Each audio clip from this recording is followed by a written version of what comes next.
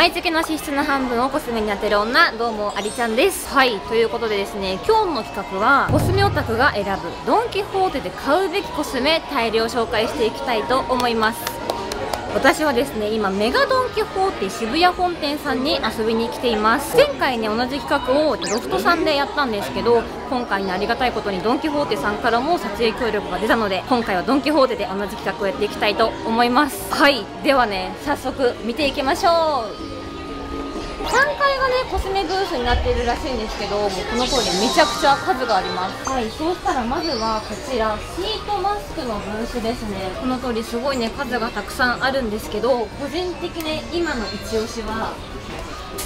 はいまずはこちらルルルンのフェイスマスクルルルン EX、まあ、これはね結構もう今ベスコスもたくさん受賞してすごい話題になってるシートマスクだと思うんですけど私もね一押しです。このシートマスク何がすごいかってエイジングケアとあと美白ケア同時にねできちゃうシートマスクなんですよ。なのにお値段がねこれ7枚入りかな？78枚ぐらい入っていてお値段が880円とめちゃくちゃコスパがいいの。これはね今ドンキ来たらマストバイだと思います。あとね今もう一つおすすめなのがこちらです。です。ナンバーズインのひんやりクーリングシートマスク、まあ、ナンバーズインのねシートマスクってどれもね全体的にすごく人気だと思うんだけど夏だったら私はね4番がおすすめ。ここにね書いてある通り4番ねちょっとつけるとひんやりするんですよ。私このシートマスクの出会いがスプスプちゃんとコラボした時にスプスプちゃんが一番お気に入りのシートマスクって紹介してくれてそっからね使い始めたんですけど肌をねちゃんと冷たくしてからメイクをした方がメイクのりがね良くなるんですよ。だから夏場の暑い時期はこれがすごいおすすめです。ああとね私これ好きだった。これねメディヒールだよね。メディヒールのザ NMF アクティブ AP これ保湿美容液なんですけど使う時に一個一個ねパキッと割って使っていくタイプなんですよ。私ねこれ最近プライベートで買って使ったんですけどめちゃくちゃ良かったのでこれもすごいおすすめ。7本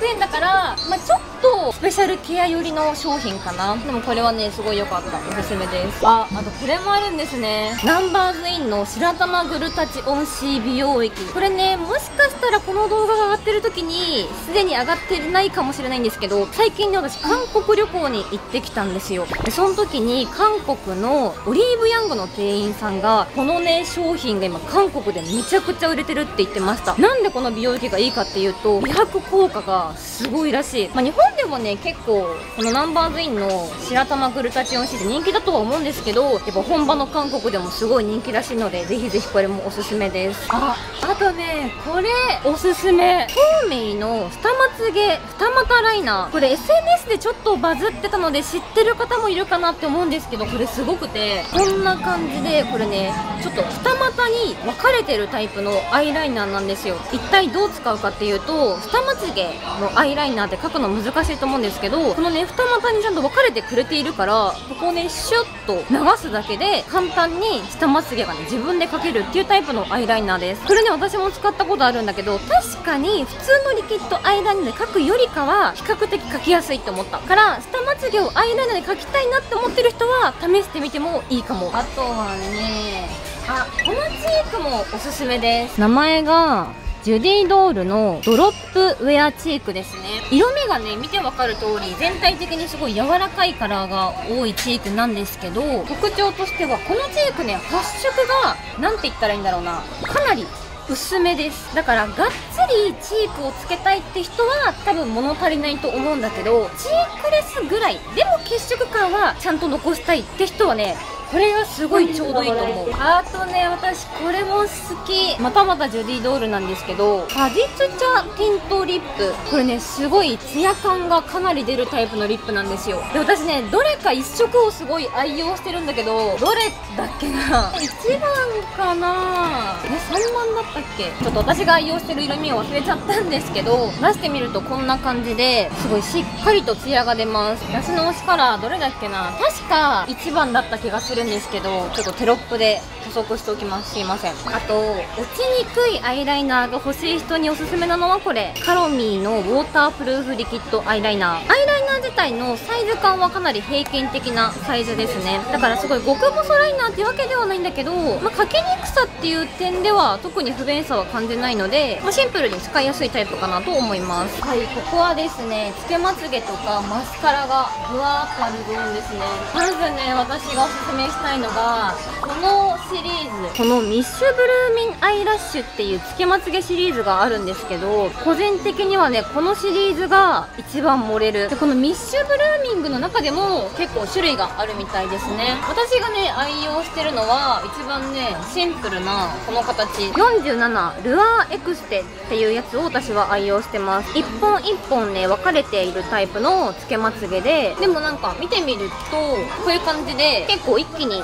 ついているタイプだったりとかあとはこんな感じでかなりね目力が出そうな形もあります。そうねそういろんな形があるんだけど私結構プライベートとかでもつけまつげ愛用するんですけどいろんなねものを使ってきた中でもこのねミッシュブルーミンってやつが一番自然なんだけど盛れるなって思ったのでつけまつげ欲しいなって思ってる方はこれおすすめです。あと今マスカラだったらこれがおすすめです。ヒロインメイクのリアルラッシュマスカラアドバンストフィルム。これはねいい意味で今までのヒロインメイクのイメージジをね覆してくれます。ヒロインメイクってやっぱイメージ目力がとにかくしっかりと出て落ちにくいっていうねイメージが強いと思うんだけどこれに関してはね目力も出るし落ちにくいんだけど仕上がりがねナチュラルなの。なんかヒロインメイクを結構今っぽくした感じっていうイメージが私はあるな、まあ、なんだけどちょっとね注意点があるとすればなんか油分が多めのアイシャドウを使った日にこれを使うとちょっとねパンダ目になる時もあります。私の感覚的に8割はならない。でもたまに12割ぐらいたまにパンダ目になったりするからそこだけちょっと注意なんですけど仕上がりと持ちは本当にすごい綺麗なのでまだ試したことがない方はぜひぜひ試してもらいたいなって思うおしコスメあとですね。今メガドン・キホーテ渋谷本店さんでこちら嘘つきますから結構大きく展開してもらってます。じゃんじゃじゃじゃじゃじゃん嘘つきマスカラブラックブラウンリムーバーあとは嘘つき下地あとは下まつげ用そして涙袋ライナーと全ラインナップがあります。どれもねおすすめなんですけどまあやっぱり一番おすすめといったら嘘つきマスカラブラックかな。何回もね紹介してきてるんですけど嘘つきマスカラの特徴としてはこの通り透け感発色のマスカラ液です。あのちゃんとね繊維とかも入れているので目力は上がるんですけどマスカラ液自体がね半透明なのでナチュラルなままちゃんと目力が上がるっていうのにねすごいこだわって作りました。最近とかだとねこのマスカラリムーバーとかも新しく出ましたね。マスカラリムーバーの特徴はこの通り360度ねトルネードコームを採用しました。だからどっからつけてもちゃんとリムーバーがまつげに絡むしあとはこのリムーバー液がねちょっとわかるかな？とろみがねあるものを採用してるんですよ。とろみがあるからちゃんとあのリムバをつけてもリムバ液が根元にね下がりにくくなっていてまつげに全体的に絡むようにっていうのにすごいこだわって開発しました。ぜひぜひ皆さんシリーズよろしくお願いします。でこれさ私持ってないんですけどこれあれですよね。TWICE のさなちゃんが使ってるで話題になったカッサですね。え多分これだよね。これだった気がする。ミリミリのフェイスボディカッサだって。えこれはね私持ってないんですけどシンプルに欲しいなってずっと思ってた商品見つけました。これはあの個人的な後で買います。今私の一番一押しのチーク見つけました。デイジークのブレンディングムードチーク10番ミューテッドナッツ。これめっちゃ一押し今。4色入ってるチークなんですけどイエベ春大優勝カラーです、まあ、これはねシンプルに色味がすごいドンピシャ。どれも外れがない4色のチークっていうのがねすごい推しポイントなのでイエベ春さん以外はもしかしたら使いにくいかもしれないけど私と同じイエベ春さんはねぜひ試してみてもらいたい。本当にねどれも外さない。これはすごい今ハマってますね。あと、まあ、結構前から私が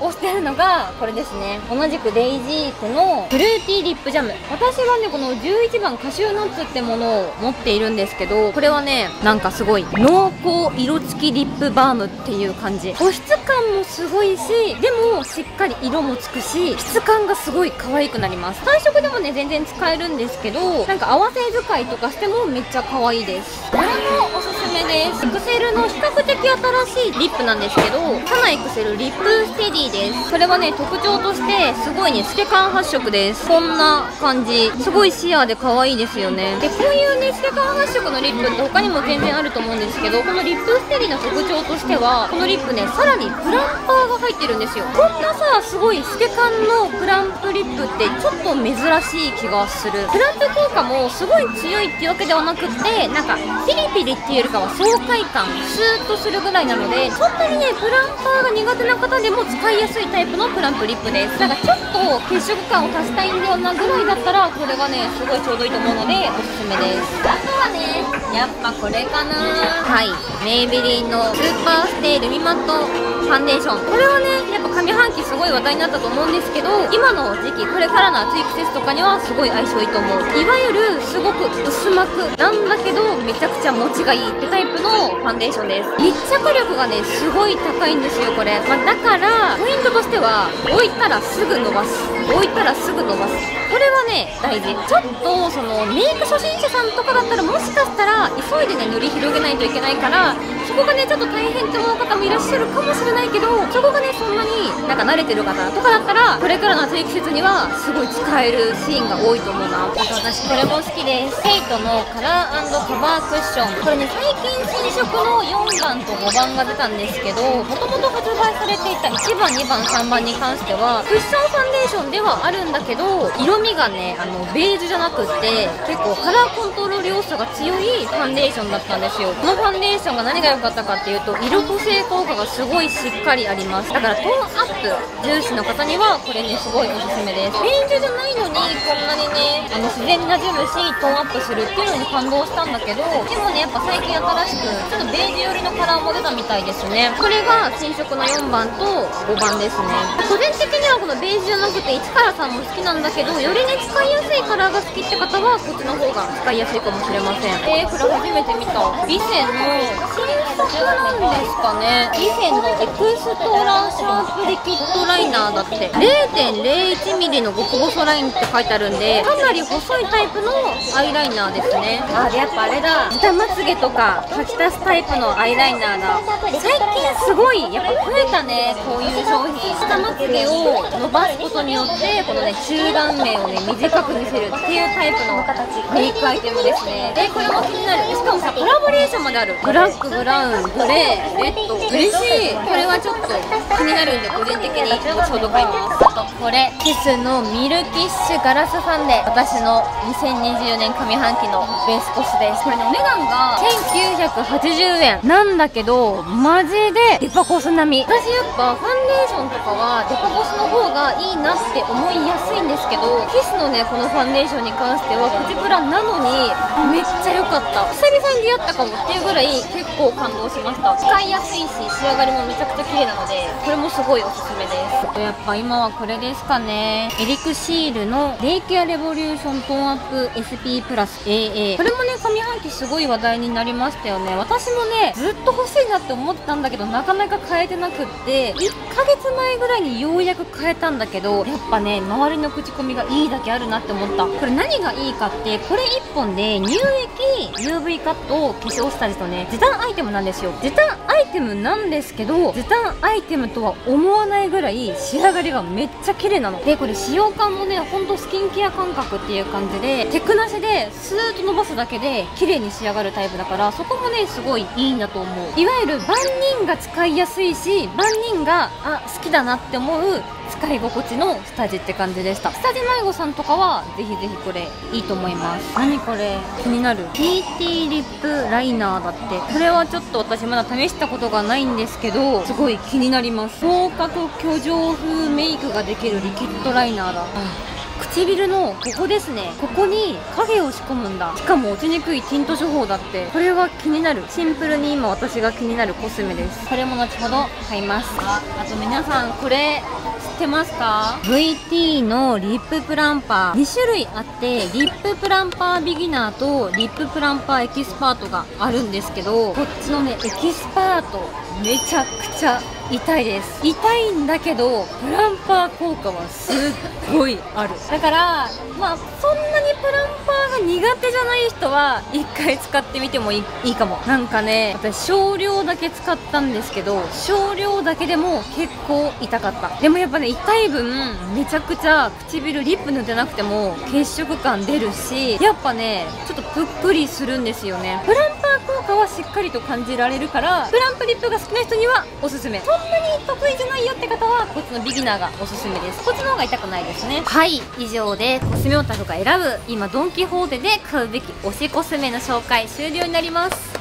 いかがだったでしょうか？今日ね紹介したコスメは全てね渋谷のメガドン・キホーテ渋谷本店にね取り扱いがある商品なので気になったものがあったらぜひぜひチェックしてみてください。え本日も動画最後までご視聴いただきありがとうございました。この動画が面白かったよとか参考になったよって方は高評価チャンネル登録していただけるとすごくすごく嬉しいです。はい。では皆さんまた次の動画でもお会いしましょう。バイバーイ。